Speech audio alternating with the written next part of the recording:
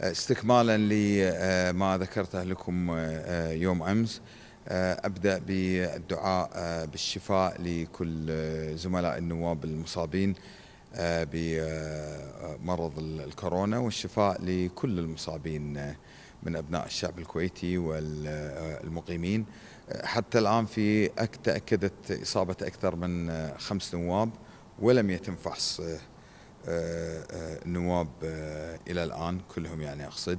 آه، بالنسبة لجلسة الغد آه، بعد التشاور مع الاخوه اعضاء مكتب المجلس وفقا للتفويض الصادر من مجلس الأمة تأجلت جلسة المجلس لمدة أسبوع.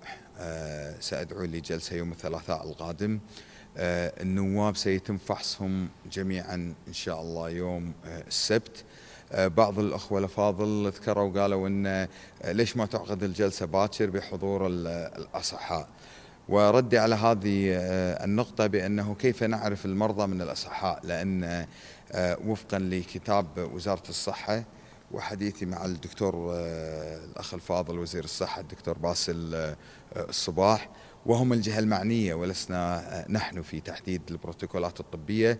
يقول حتى اللي نفحصهم اليوم مثلا يوم الاثنين ويطلع negative قد يكون حامل للمرض لأنه يجب أن آه، تمر مدة زمنية معينة آه، من المخالطة. وثبت أن في هناك آه، العديد من المخالطين وأيضا جلساتنا الماضية ثلاثة أيام وراء بعض.